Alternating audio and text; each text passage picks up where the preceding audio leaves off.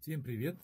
Сегодня продолжаем беседу о запчастях на бетономешалке, а именно шестеренки привода.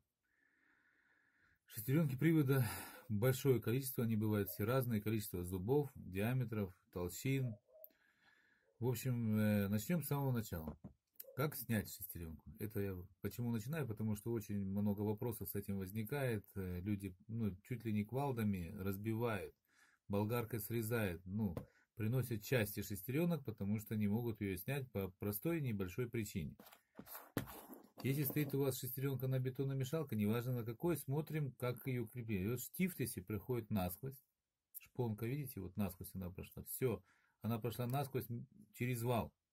Вытащить невозможно. Что бы вы ни делали, только распилить.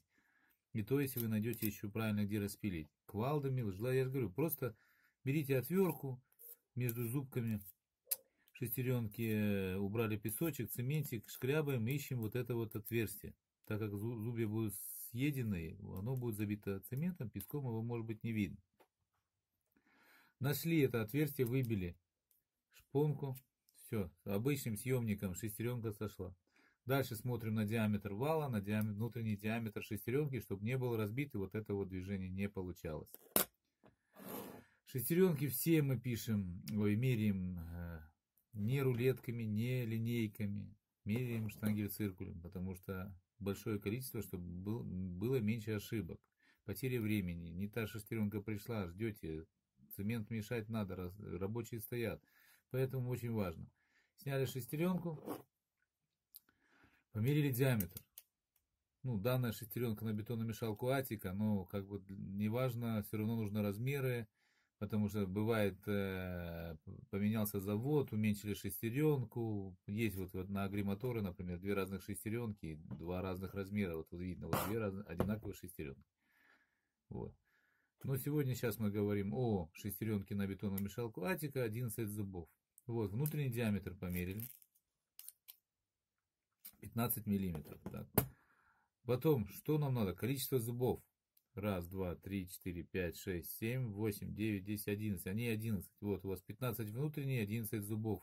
Практически все решили. Если знаете Атика, вы ее так и так найдете. Визуально посмотрели, выступив. Вот. Обязательно сквозная, сквозной вот этот штиф, который его не видно, он должен быть. Выбрали. Если вы не, не смогли выбрать, э, еще смотрим шаг. Шаг останется у вас прежний, потому что на шестеренке она съестся равномерно. Шаг будет примерно тот же. Разница там в полмиллиметра может быть. Шаг вот здесь 17 э, миллиметров. Шаг на, бетон, на шестеренке бетономешалки Атик. Высота. Ну, высота, вот, смотрите, можем померить высоту. 30 вместе с бортиком 32. Достаточно вот эти размеры, чтобы ее найти. Бывает, конечно, ну, все вот эти вот наружные диаметры пишут, что большего, что меньшего круга.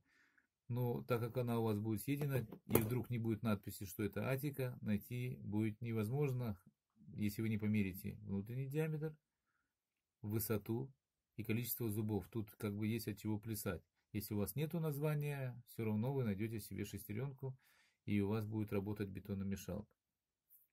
Как бы и большое количество шестеренок, большое, да, но выбор, выбор должен быть правильным, чтобы у вас не останавливалась работа.